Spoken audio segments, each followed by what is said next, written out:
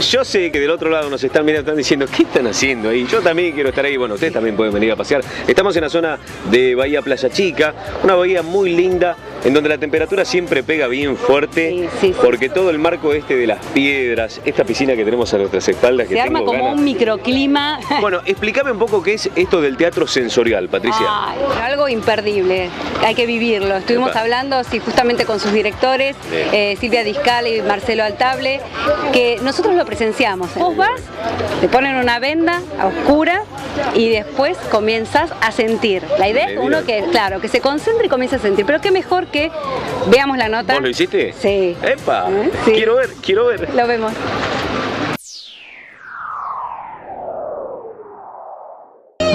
Una carta para Antonia, una experiencia teatral donde la ausencia total de luz te sumergirá en un universo de sensaciones táctiles, sonoras y olfativas, haciéndote sentir la historia. Acabo de vivir una experiencia única. Teatro sensorial. Estamos con sus directores, Silvia Discala, Marcelo Altable. Una carta para Antonia. Cuéntenme cómo es esto. Es una belleza realmente.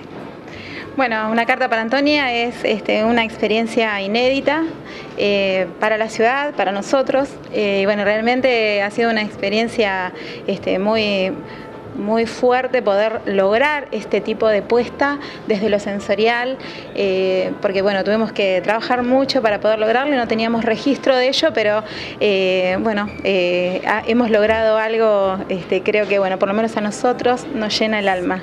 Y nosotros hablamos de que el trabajo nuestro tuvo tre- tres grandes campos, ¿no? que es la técnica en cuanto a lo sensorial, con ausencia de luz, eh, el contenido básicamente que tiene que ver con los inmigrantes y el gran aporte a, a nuestra ciudad, si fueran las raíces de nuestra ciudad, y en cuanto a la, a la temática que es una carta de amor, no hace falta explicarte mucho más, lo cual hace que ese combo de técnica, contenido y temática hace que el resultado sea tan tan sensible. Este, así que permíteme, yo te quiero presentar a mi equipo, Sí, el señor Juan González, el señor Gabriel Herbi, eh, Yamila Caire, Yamila Urizar y acá tengo a mi izquierda al psicólogo Damián Katz. Sí. La verdad que hemos tenido muchas respuestas diferentes. Eh, emoción principalmente, emoción por el amor, emoción por la apuesta, emoción por los sentidos y, en el medio de todo eso vemos gente con historias de inmigrantes de todo tipo, no solamente italianos. Un día, en la primera temporada de Antonia, eh, al finalizar estaba esperándonos una señora muy canosa de unos ochenta y pico de años y se quedó hasta muy tarde esperándonos y cuando salimos dijo, yo quería agradecerles con lágrimas en los ojos, dice, porque esta es mi historia, yo soy Antonia. Ella había venido este, primero de Italia con su familia porque la trajeron y su esposo quedó en la guerra y luego de seis años se reunieron en Argentina, aquí en Mar del Plata.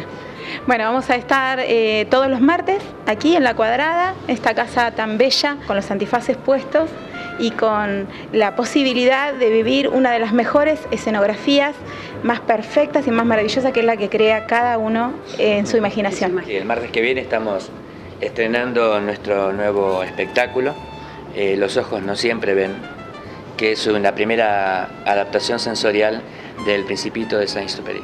Eh, si bien todos creemos que hemos- lo hemos leído, pero este, este, este viaje de investigación y búsqueda fue muy fuerte, encontramos algo muy, muy pleno, decidimos plasmarlo en lo sensorial y ahí salen los ojos no siempre ven, así que los invitamos a percibir algo realmente distinto. Chicos, mucho éxito Gracias. ¿sí? para esta gracias. temporada. Gracias por estar presentes. No, por favor, a Y ustedes. gracias a nuestro equipo.